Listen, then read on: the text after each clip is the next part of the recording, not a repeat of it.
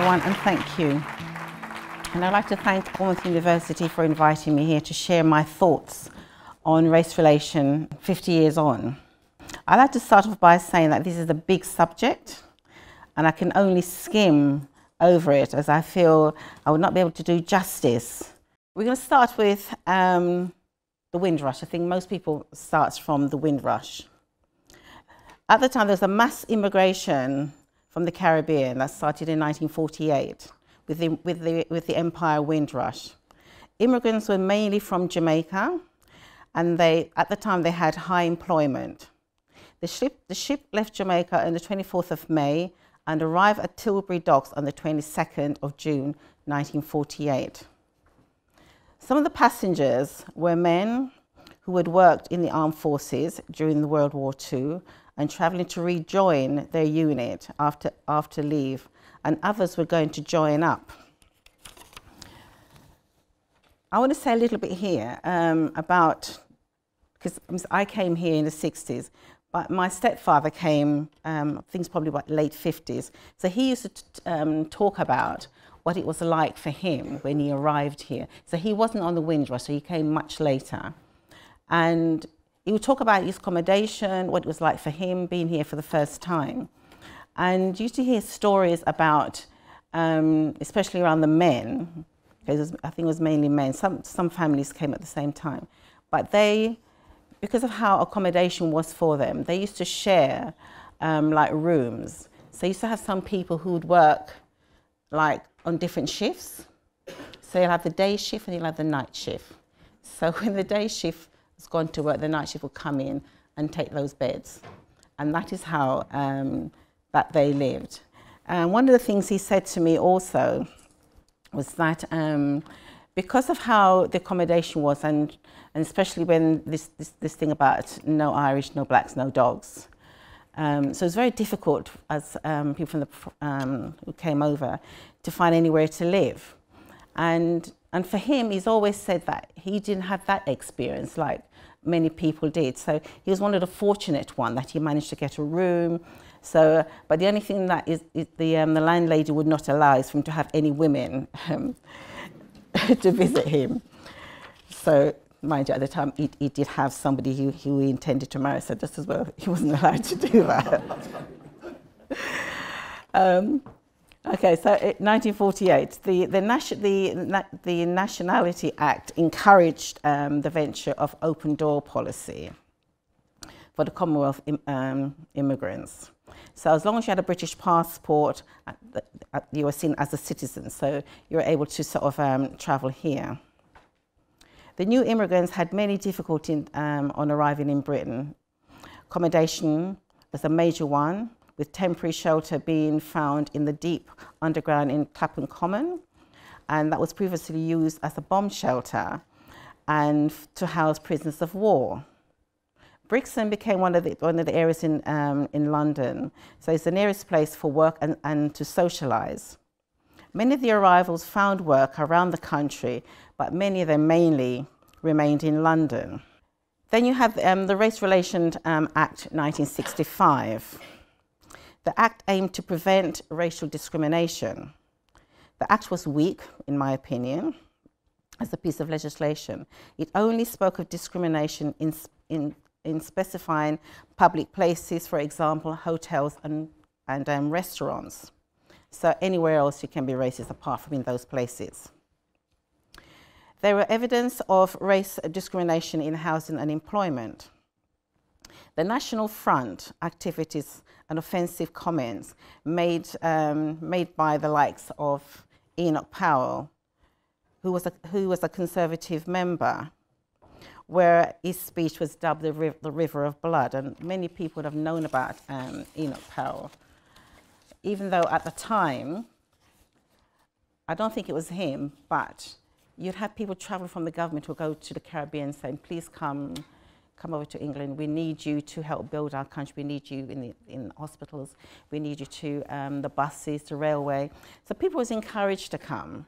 But at the same time, when, when they did arrive, how in, hospital was the country um, towards them. We also had the Race Relation um, Act 1968. This one attempted um, to, um, it, it, was designated as an International Year for Human Rights, um, quoting from the 21st section of the UN General Assembly Resolution 2142, the Subcommission of, on Prevention of Discrimination and Protection of Minorities is undertaking a special study of race, of race, racial discrimination in, in um, the political, economic, social, and cultural fields, and has already appointed a special rapporteur for that purpose, reaffirming that race, racial discrimination and apartheid are, denied, are denials of human rights and fundamental freedoms of justice and are offensive against human dignity. Those are strong words. Who took notice of those words? Because as we know, um, racist continues. You also have the Racial, uh, Racial Discrimination Act 1976. In 1976 Racial Relation Act, there seems to be some consensus where employment were concerned. In the same act, Roy, Roy Hattersley, a Labour Party member, had much to say about immigration and the people travelling to Britain. He's quoted to have said in his speech, we must impose, we must impose a test which, which will try to analyse which, immig which immigrants are most likely to be assimilated into um, national life. Now, when I read that, then I start, looking at questions. So we can see here, it's not just the Conservative Party who were concerned, but it was also Labour. The question is, how do you test who will integrate into society? Over the years, many people have played their part in the act. It has been over 50, 50 traumatic years since the Windrush arrival to the pre-2000 amendment to the 2000 Act, where there were no protection of equality for those experiencing racism, either at work or in housing. There used to be several local race, um, race equality council offices around the country that would provide support for those experiencing racial discrimination. I'm glad to see that Dorset office is still active one of the 21 that I was able to find on the internet. Since most RAC offices are now closed, it was not only the, the, the, local offices that supported racial victims, but also the Commission for Racial Equality, which is the CRE. I view um, the CRE as having no teeth. I remember back in 93 when Stephen was killed and I met at the time was um, who is now Lord Ouseley, who was the chair um, of the CRE, and we were on a radio station together. And the questions I think for me, Stephen's murder was seen, well, it, it wasn't, uh, is um, a race murder. But the CRE wasn't able to do anything I mean, you know, they didn't come out to meet us in the first or invite us for a meeting. So my only opportunity of speaking to the chair at the time was at, um, we were doing a radio interview together. And like the time around Stephen, I felt that there was nobody I felt that I could go to or have that support because Stephen's murder was a racist murder. So I didn't have that, and, and the CRE did, did not provide that for me. So now that we have the, um, the Race Relation Amendment Act 2000, and this is after the Stephen Lawrence inquiry,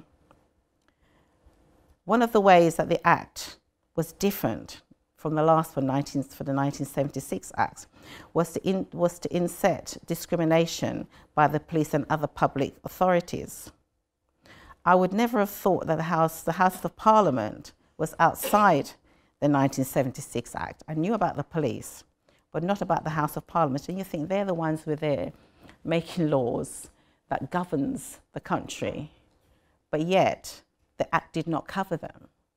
And just like the police, they could be as racist as they like before the Racial Relations Act Amendment 2000, and there's nothing anybody can do about it. But now, if it wasn't for Stephen's case and Stephen's the inquiry, we would never have had the change, which is what we have now.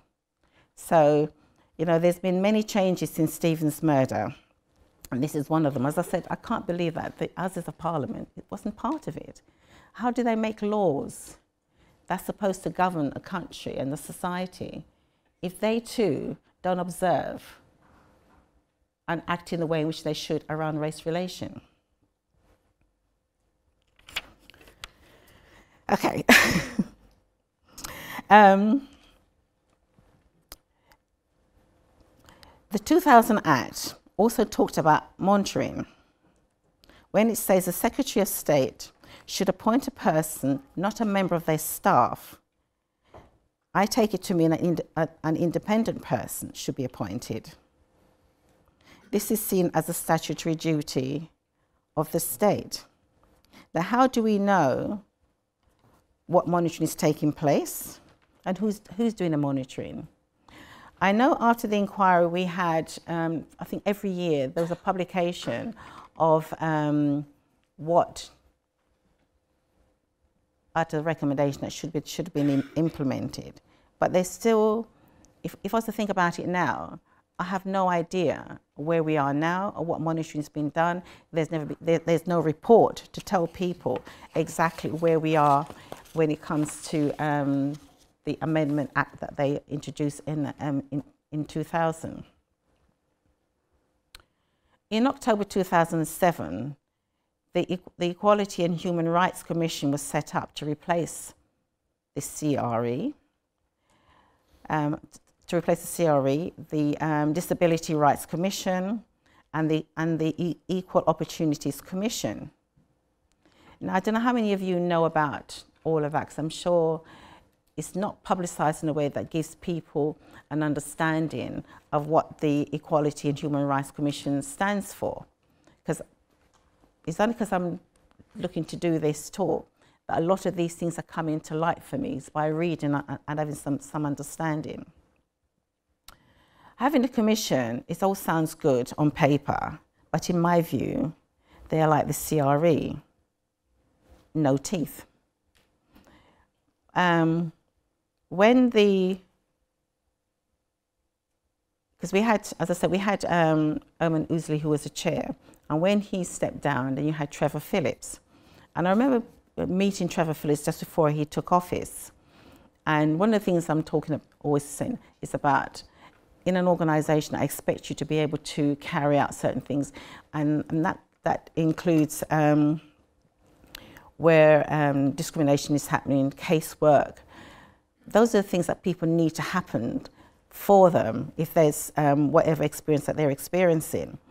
And one of the things he said to me at the time is that don't take me by my, don't take me by my work, but take me by my deeds. But for me, I can't see exactly what he's done since, in fact, he's no longer um, there. But I couldn't see what he was doing. He, he, he has an organization they're supposed to be supporting, you know, and making sure around race relation.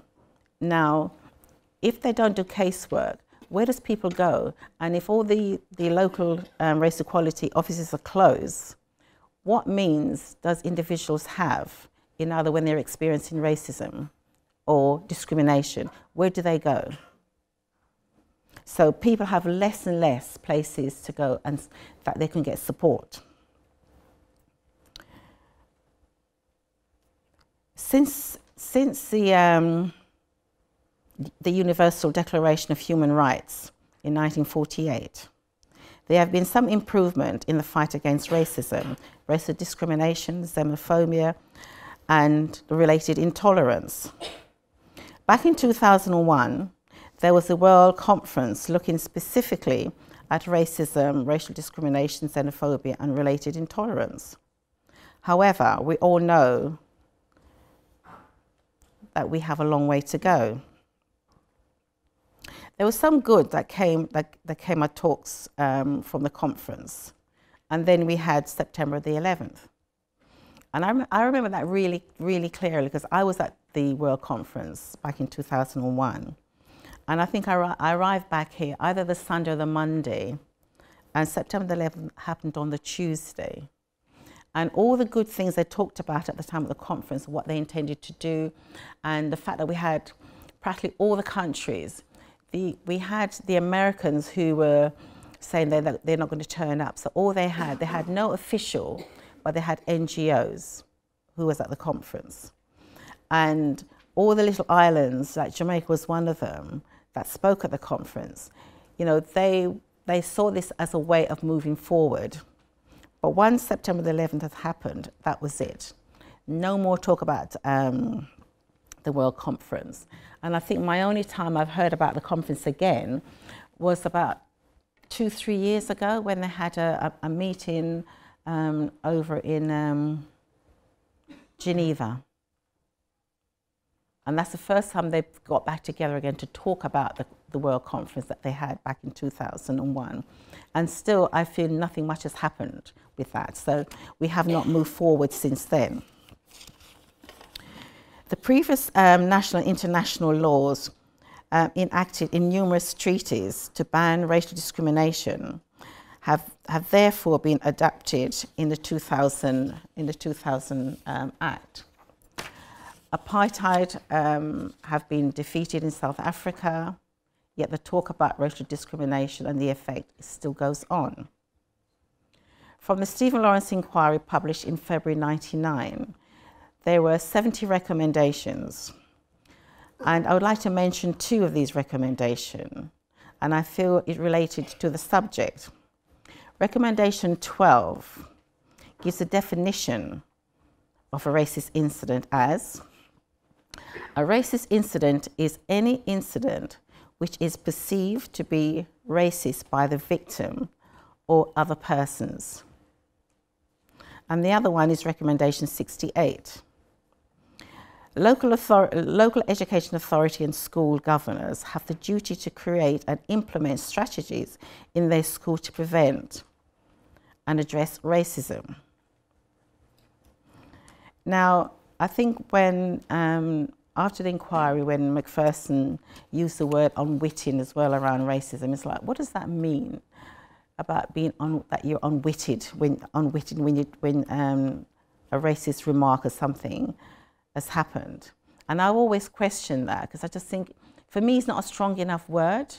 And does people understand what it means? Because at the time, I certainly don't understand um, what, he, what he was trying to say. And also around the schools, and I'll say a little bit more about that. Racist incidents in schools, is, is, is, it is so important for young children to have some understanding of the words that they use or how they behave in school.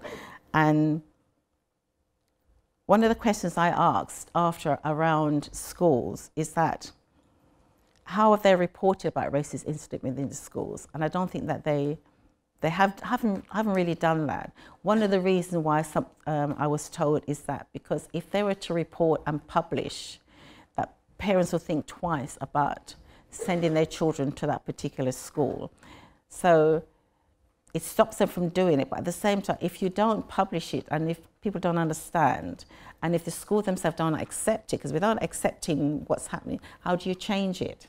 So you need to be able to do something in either for people to, for schools to know that children need to understand and parents need to understand. Because I think children at times, I always said no child is born a racist.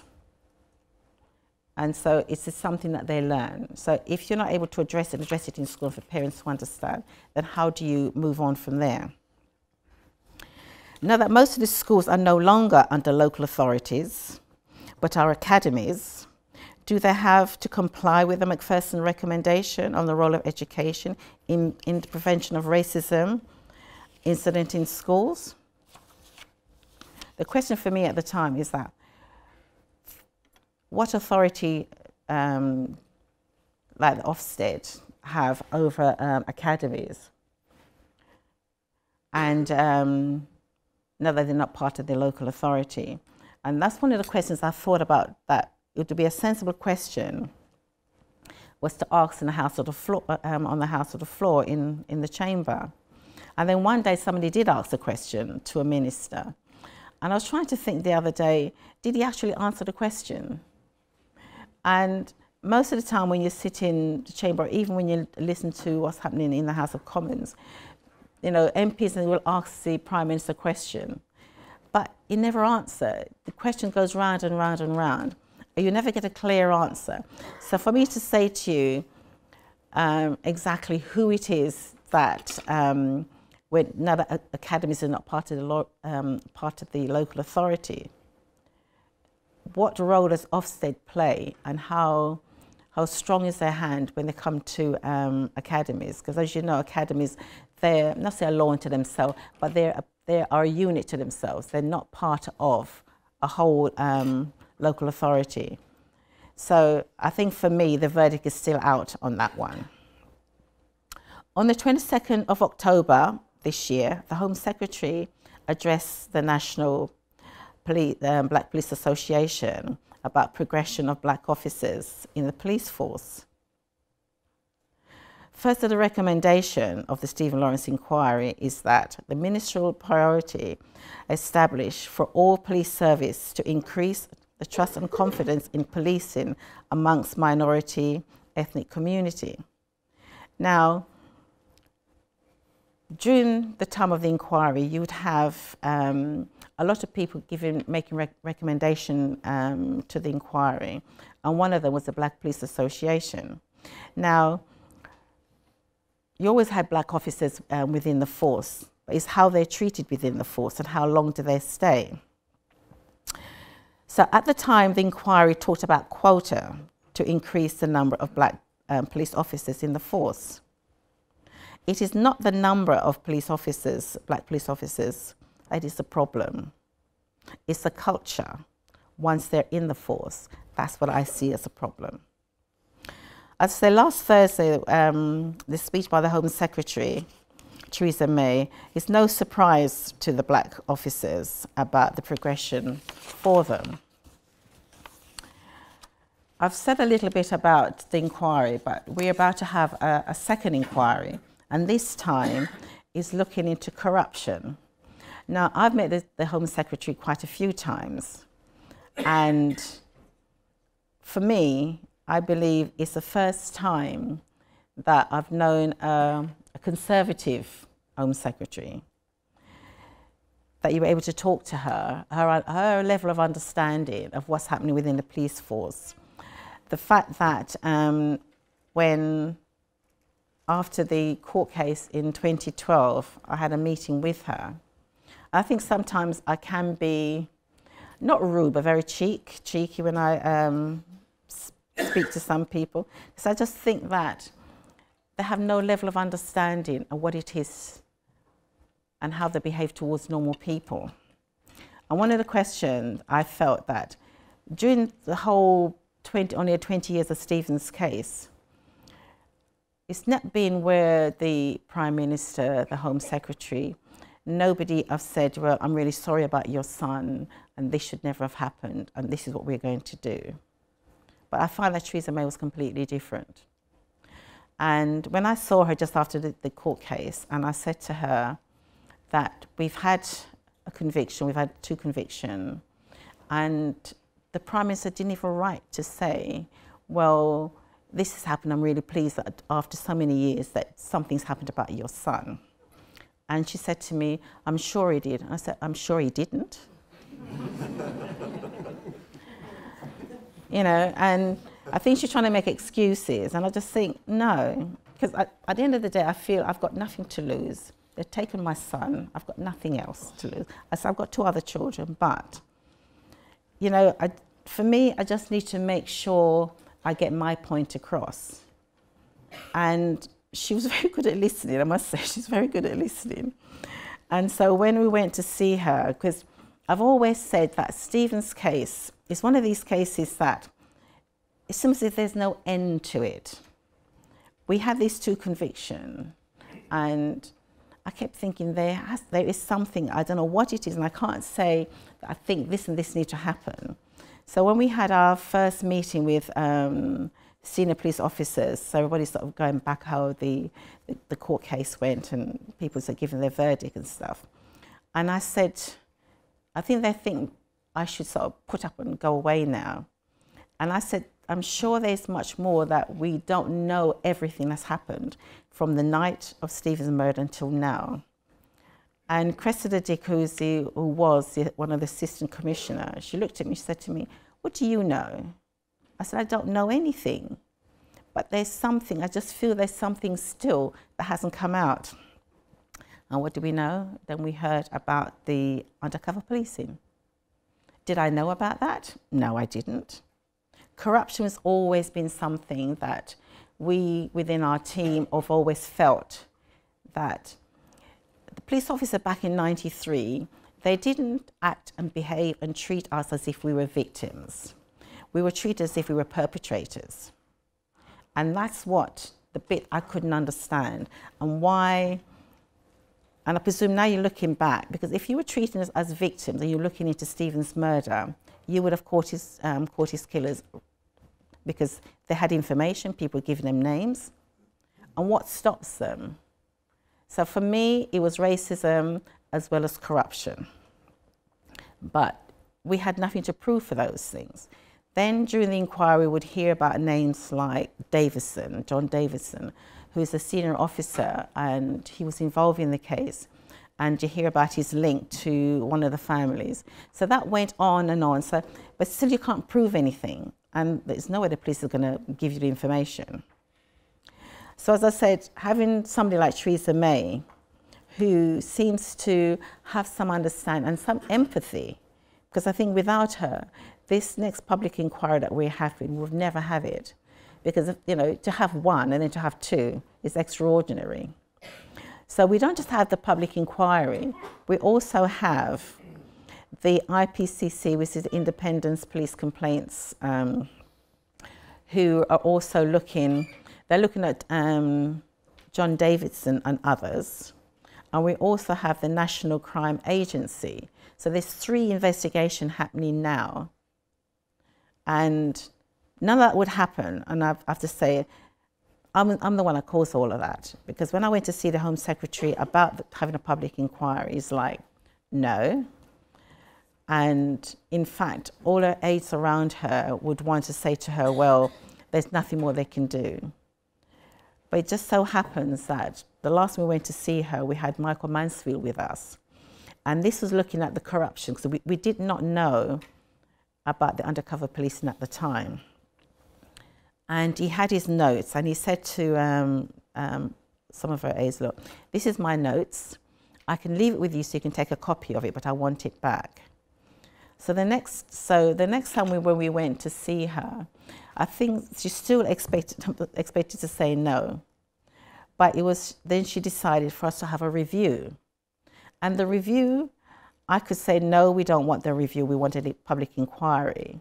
But I thought if that's what we're going to have, then that's what we'll take. And from the review that Mark Ellison did, QC, loads more things are beginning to come out. And apparently, when she got the report, this is rumours, that she was quite livid in the Home Office when she got the report. And so the report was announced in the House of Commons because I think that allows them to allow that they're allowed to make announcement without anybody being prosecuted. And because of the stuff was in there, Mark Ellison could be. So it was announced in the House of Commons. And the fact that she heard, well, the report was able to tell her about the corruption that took place, officers involved. So all the time that we were talking, even though we couldn't put our finger on what it is, the evidence was there. So hence why she's called for the public inquiry.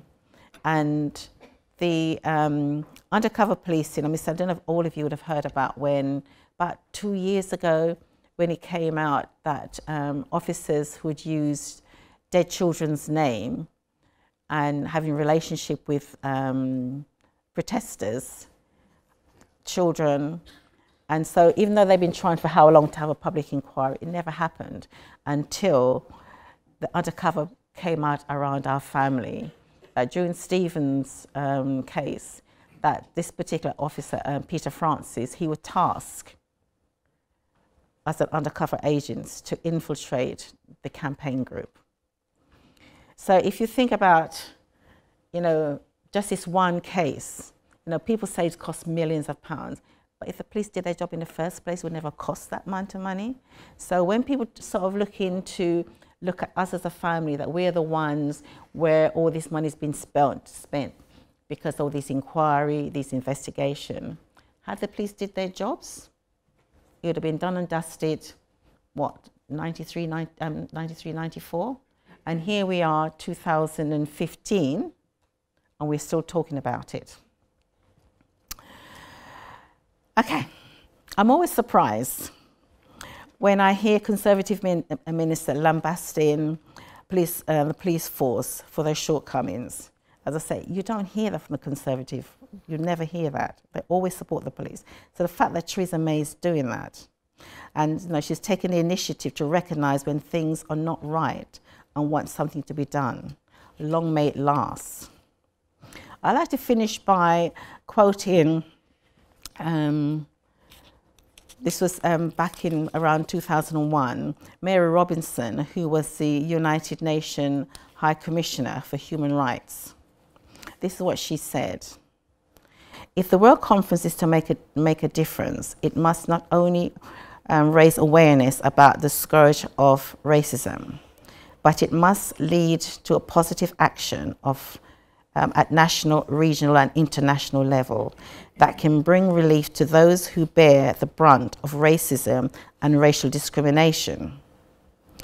This is a subject that requires firmness, resolve, discipline, persistent, persistent action, and clear, clear sight, clear insight of thinking. Most people agree racist, a racist is not born. They develop and the primary cause of racism is ignorance. As the UN Secretary General said on the occasion of the, of, of, of the observance of International Day for, it, for Eliminating Race, Racial Discrimination on the, 12th, the, the 21st of March 1999, ignorance and prejudice are, are, are um, handmaidens of propaganda our mission, therefore, is to confront ignorance with knowledge, bigotry with tolerance, isolation with outstretched hands of generosity. Racism can, will, and must be defeated. Thank you.